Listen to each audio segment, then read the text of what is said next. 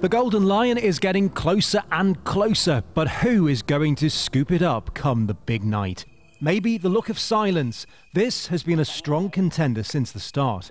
Joshua Oppenheimer's look at the Indonesian mass killings in the 1960s, the only documentary in a festival dominated by war stories. But in true festival style, there is something for everybody. This movie, surreal? Definitely. A contender? Very much so. Even the title begs curious fascination.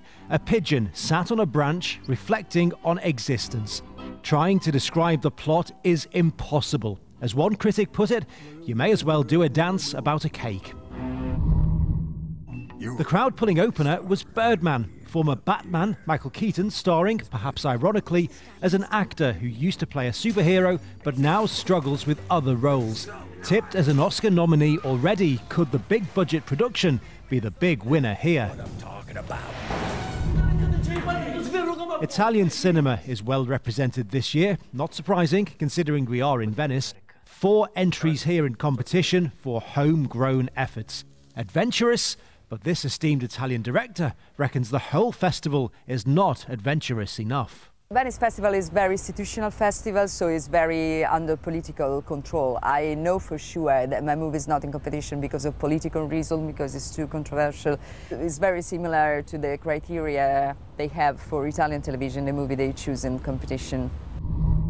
I wouldn't think that that's true at all. I don't think that I don't see any sort of fear in, in, in what they program, not at all. So Venice it, it, it's far less easy to categorize the kinds of films that Venice is going to program.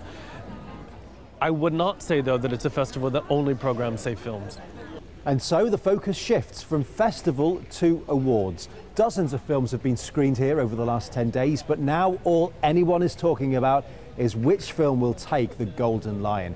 You know, out of all of the festivals, Venice is one of, if not the most difficult to call. Nobody really knows, even at this late stage, what the jury is thinking.